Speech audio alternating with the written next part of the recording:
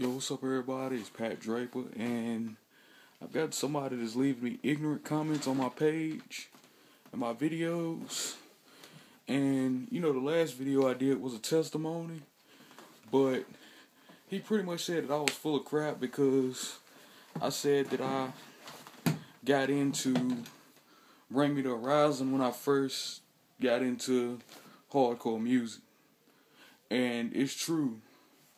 I was in the Bring Me the Horizon at one point, but what he said is because I because I I was into them, I'm pretty much not a Christian and I'm full of crap.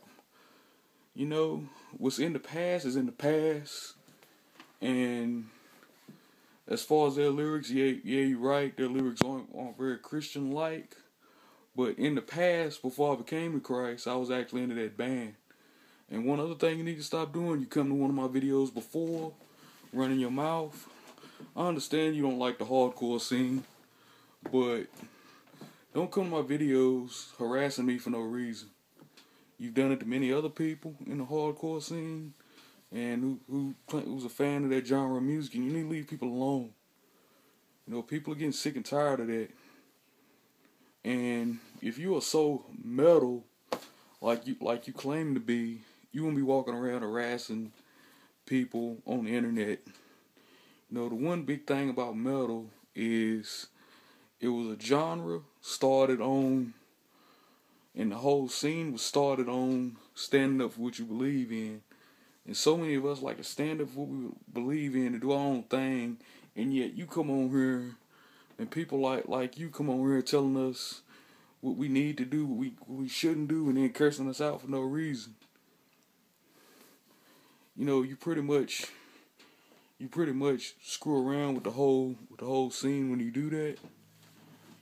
And you add this whole mode to it to where you gotta be a certain way in order to listen to that music. And so many of us are sick and tired of that. So many of us are sick and tired of having people criticize people because of the what kind of hair they have, what, what type of jeans they wear, what what band is on their band T-shirt in their playlist, and what band they choose to listen to. The fact that you the fact that you're doing is the most unmetal thing anybody can ever do, and this whole genre won't won't built on people building modes on how how the how the scene is supposed to be.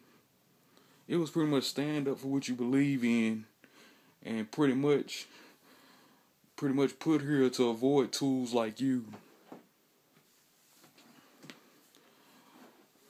And this whole this whole mode you you guys build is pretty much everything that the genre is against, everything that the music is against.